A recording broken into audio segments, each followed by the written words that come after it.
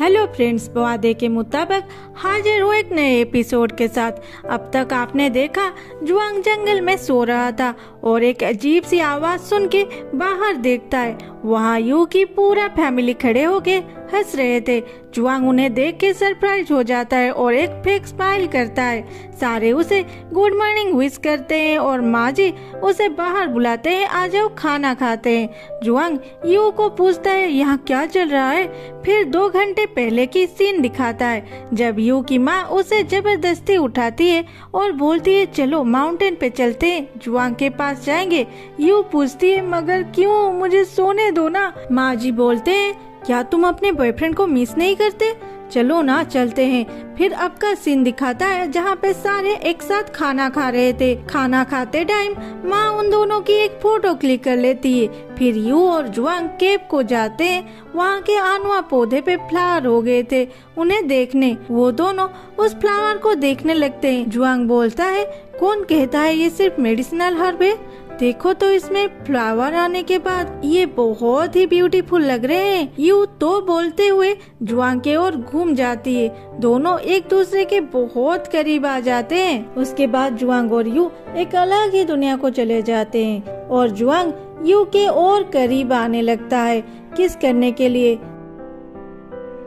तभी पीछे से जियन आवाज़ देता है, मिस यू यू थोड़ी दूर जाके बोलती है क्या हुआ? जियान बोलता है, आप दोनों भी यहाँ पे यू बोलती है, इतनी जल्दी क्यों आए? अब तो सुबह हुई भी नहीं, दिन में आते। जियान घड़ी देख के बोलता है, अभी नौ बज चुका है, क्या ये रात है? यू बोलती है, ठीक है तुम दोनों सैंपल कलेक्ट करके आओ। मैं चलती हूँ मेरे माँ के पास। और वहाँ से जाने के टाइम वो गिरने ही वाली थी, जुआंग उसे पकड़ लेता है। वो जुआंग का हाथ छुड़ा के वहाँ से भाग जाता है। जब यू कैंप के पास आती है, वो देखती है माँ और पापा कुछ बातें कर रहे हैं। वो उनके पास जाके बोलती है, माँ, बोलो ना, क्या हुआ है? ऐसी कौन सी बात है जो मैं नहीं सुन सकती? और उस बाहर के लड़के को आप बोलना चाहते हो? माँ जी बोलते क्या? बाहर का लड़का? कौन? जुआंग? उसे तुम बाहर का लड़का कैसे बोल सकते हो? वो तो अपना है। यू बोलती है अच्छा वो अपना है और मैं पराया। पापा यू को उदास देख के बोलते हैं, यू को बोल दो। माँ बोलती है, ठीक है, बोलती हूँ। लेकिन तुम प्रमिस करो कि तुम मुझे जुआंग के साथ बात करने के लिए मना नहीं करोगे। फिर बोलती है अरे मेरी वो जो दोस्त है ना, जो मेरे साथ डांस करते हैं, वो ना कुछ दिनों से डांस करने आए ही नहीं। जब मैं पता लगाने की कोशिश की तो पता चला उनके ग्रेप बगीचे में कीड़े हो गए और हमारे गाँव में तो सारे ऑर्गेनिक फ्रूट्स होते हैं। हम मेडिसिन नहीं डाल सकते। तो मैं सोच रही थी जुआ को बोलूँ, उन्हें हेल्प करने के लिए। यू बोलती अच्छा ये बात है तो बोलनी चाहिए ना, तुम छुपा क्यों रहे हो?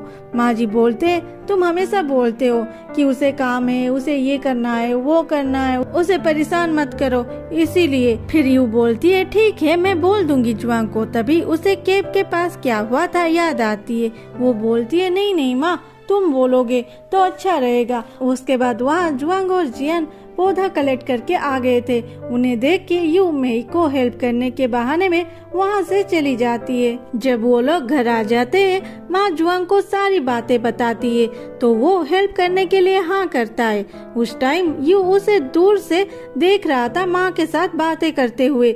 माँ बोलती है, यू, यहाँ पे क्या कर रही हो? सुनो, जुआंग कितनी बड़ी हेल्प करने वाला है हम गाँव वालों को। पापा को बोलो, कुछ अच्छी डिश बनाए जुआंग के लिए। अच्छा तो उसे खाने में क्या पसंद है? यू वो सारे चीज़ों की नाम बोलती है, जो जुआंग को कभी भी पसंद नहीं है और वहाँ से जाने लगती है। तो माँ बोलती है, मैंने तो आज तक नहीं देखी जुआंग को ये सब खाते हुए। बदमाश लड़की, तुम्हें तो मैं बाद में देख लूँगी। नेक्स्ट दिन में जुआंग और जियान ग्रेप गार्डन में थे। उन्होंने अच्छे से देख के बिना पेस्टिसाइड से कीड़ों को कैसे निकाला जाए, उसके बारे में गार्डन के ओनर को बताते हैं। और उसके साथ ही साथ कुछ दिनों तक गार्डन को एग्जामिन करेंगे, ये भी वादा करते हैं। इधर जीन के ऑफ़िस में जब टियान आती है वहाँ चारों ओर फ्लावर था। ये देख के टियान बोलती है वाह इतने सारे फ्लावर!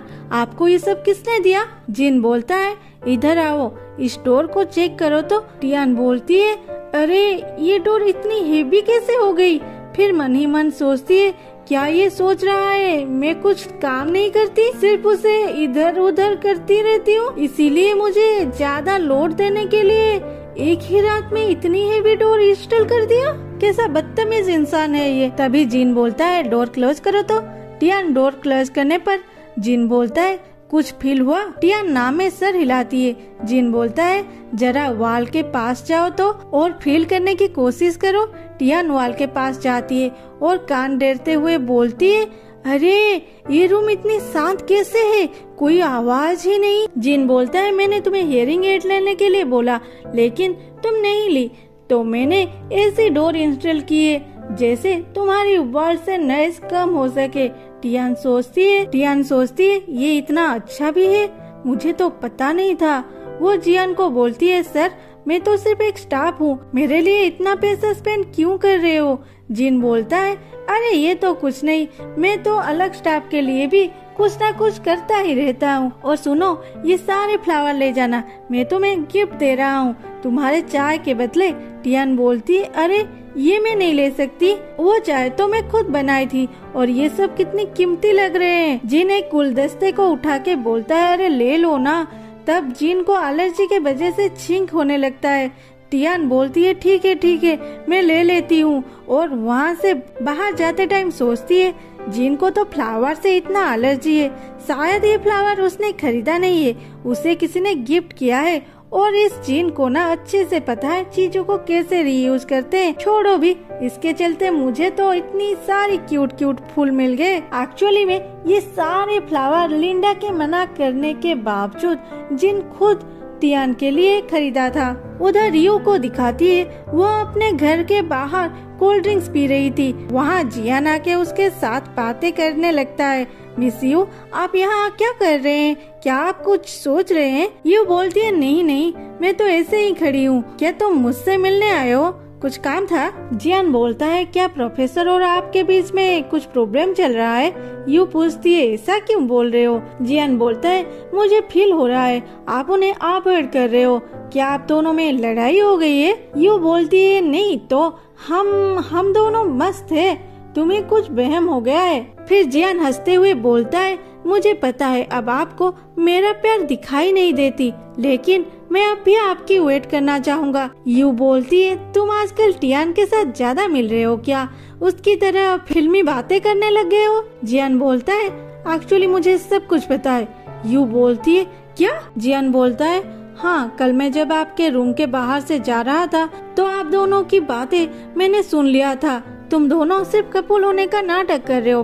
फिर जियान बोलता है, मैंने आपको पहली बार यहाँ पे नहीं, चाय के बगीचे में देखा था, तब से मैं आपको प्यार करता हूँ। लेकिन बाद में मुझे पता चला, आप प्रोफेसर के गर्लफ्रेंड हो। मैं सरप्राइज़ हो गया था। क्या करूँ, मेरा दिमाग काम नहीं कर रहा था। मैं बहुत सैड था। लेकिन अब जब पता चल गया है, तुम दोनों के बीच में कुछ नहीं चल रहा है। क्या तुम मुझे चांस दोगे? यू ये सुनते ही इमोशनल हो जाती है और मुस्कुराते हुए बोलती है, क्या? मैं नहीं बोलने वाली।